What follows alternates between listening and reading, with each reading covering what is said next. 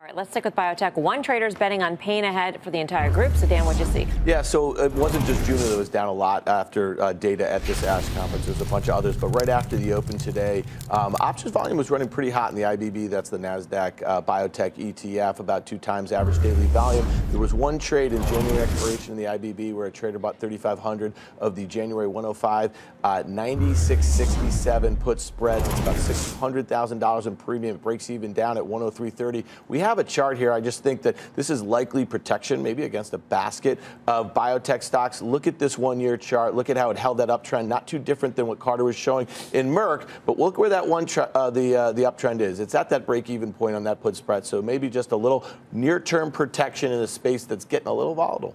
All right. For more options action, check out the full show. That's Friday, 5:30 p.m. Eastern Time.